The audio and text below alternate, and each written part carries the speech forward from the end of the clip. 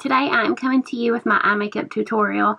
I do my eye makeup the same way every time I do my makeup and some of you had questions about how I do it so today finally getting around to getting that video done. Um, I actually filmed this last week and our computer crashed and I lost all of the footage so it's a little aggravating but um, I did want to go ahead and get this video out since so many of you asked me how I do my makeup.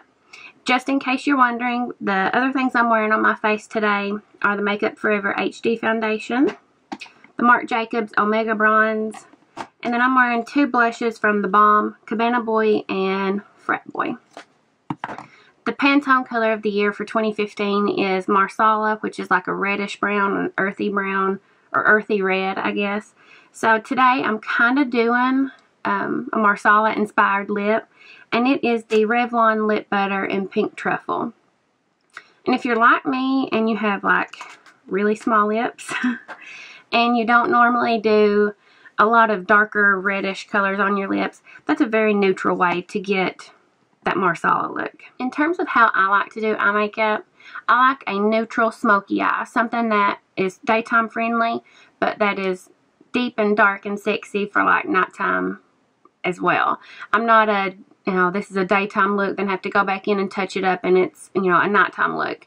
I don't wear makeup every day, so basically my look is either I'm not wearing makeup today or I'm wearing makeup today. I don't go back in and touch up and uh, do those kinds of things. If you look at me head on, I like for the outer part of my eye to be smoky and the inner part to be light and shimmery. That just lets you get away with wearing more eye makeup kind of and it being a little bit more friendly and easy to wear.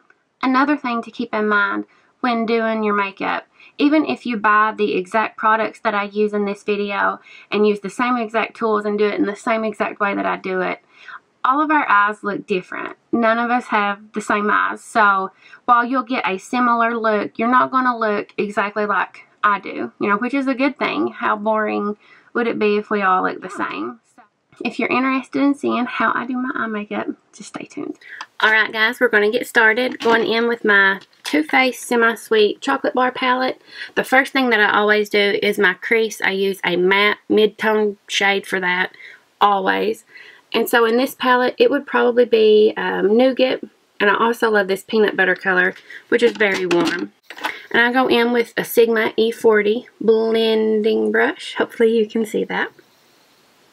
The first place you put your brush is where you're going to get the most color deposited. I turned on some more lights, so hopefully you can see this a little better. The next thing I do is I always take my Sigma E45 small taper blending. And I go in with a deeper color. In this palette, um, truffle, pudding, and mousse are my favorites for that because they are matte. Again, I don't want any shimmers in my crease usually. Sometimes I'll use a satin. Again, first place you put your brush, that's where you're going to get the most color. So just kind of dab it on and start working it up where your brow bone starts. If you look at me head on, this is where um, my eyes are kind of hooded and that's what I want to recede. So that's where you put your um, darkest colors. Yeah. And I just kind of keep working that darker color. Going back in with that E40, no additional product in between every step, you always want to go back in and blend. Okay. Now I'm going to do my brow bone highlight and I use a Sigma F70 concealer brush. So in this palette, I'm going to go in with coconut cream. Again, the first place that you lay that brush down, you're going to get the most color. So I always put it right here under that arch. And I take it and I blend it all the way under that brow. I take it kind of all the way around that darker shade.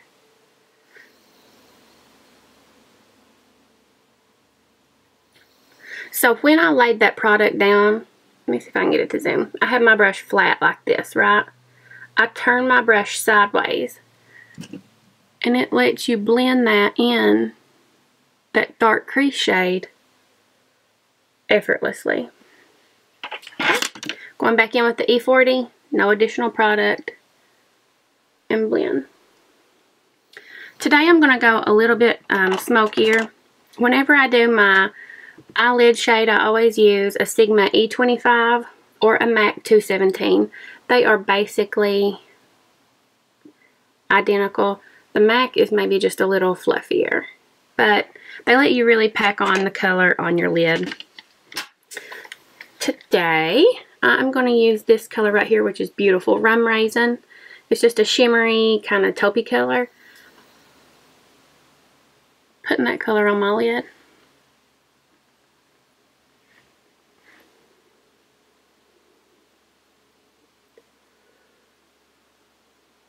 Such a pretty shade. Back in with the E40 to blend.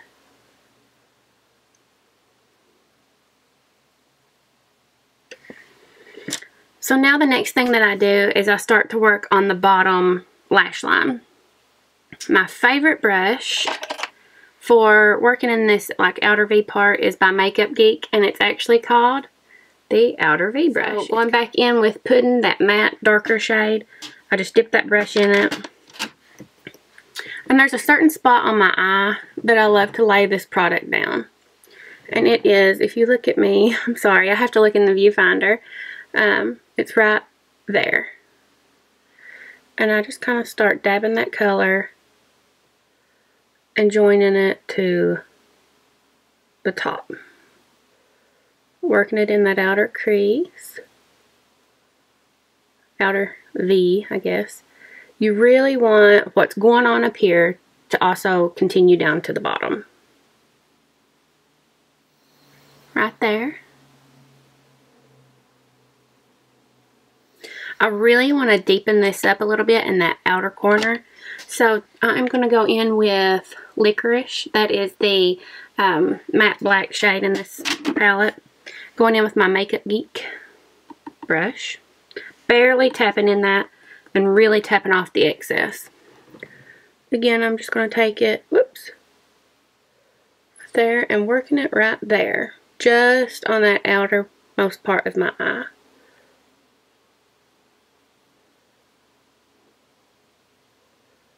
blend it up. This is really dark. But um, this is when you really start to see that smoky effect take place. And I go back in with that E45 and just really blend that out. Even take it up into that crease.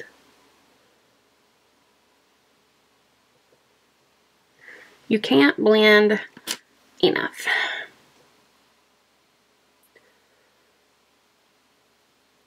Right up through there.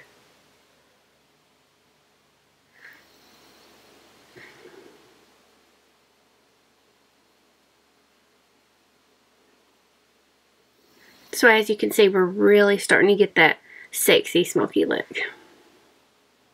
Keep that color out here. Inside, you want it very, very neutral, very light, very sparkly. Out here, honey, smoke that up.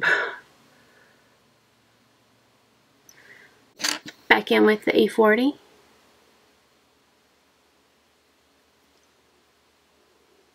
We are almost done, guys. The next thing that I do is I go in with my MAC 212 push brush. And I go in with that darker color, the pudding. And I lay this right on my lash line. Like I've said before, I don't use eyeliner down here because you want everything smoked out and soft. You don't want any kind of harsh lines um, on your lower lash line.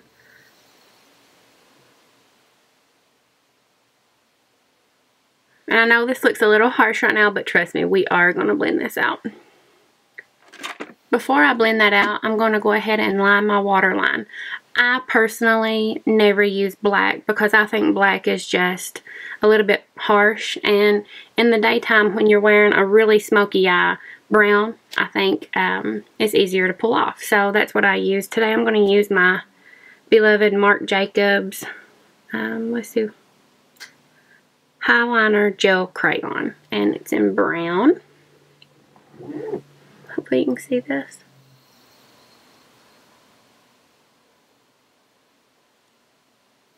And I'm going to go ahead and tightline my eyes as well.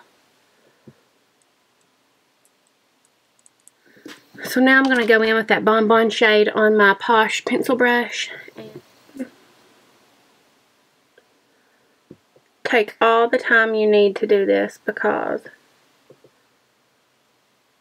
you really want a smoked out soft effect. No harsh lines on that bottom lash line.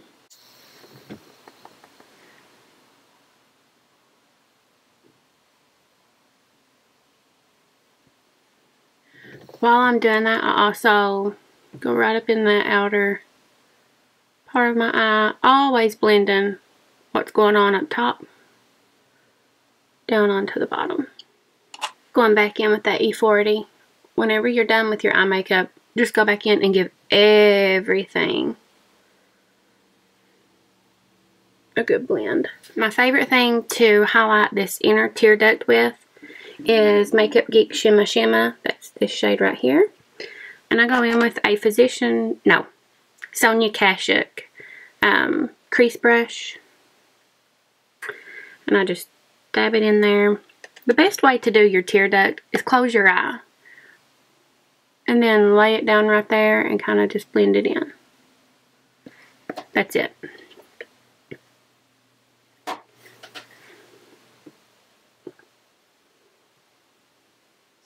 It is very hard to um, record your eyeliner, especially me because I'm not used to doing this and staying in frame, but I'm going to attempt to do it. Today I'm using the Physicians Formula Eye Booster Pen.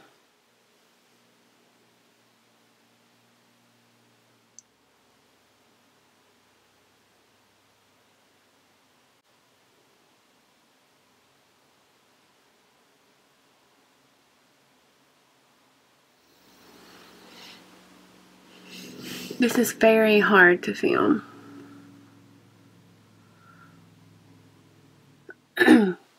Cleaning up any messes with my Salon Perfect eye makeup corrector sticks.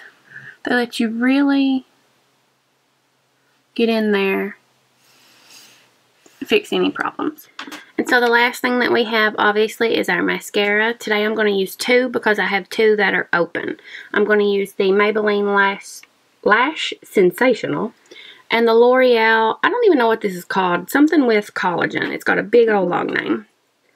It's actually rare that I do two coats of mascara, but if I do, I do them back to back. Um, that way it's still like wet whenever I go in with that second coat. Maybelline.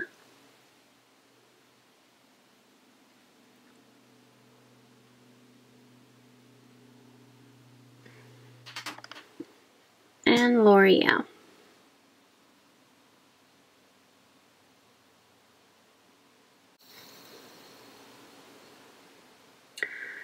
If you have any kind of creasing under your eyes, big, bold, voluminous lower lashes really can help hide that.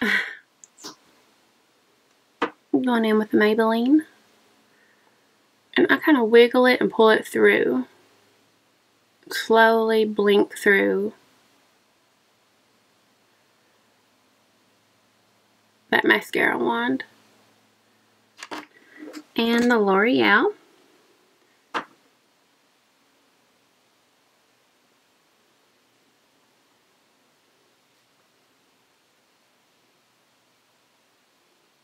kind of hold my lashes up because I don't curl my lashes. I think it's just kind of um, harsh to your natural lashes. So I use my curl my mascara wand and I just kind of hold my lashes up on the end.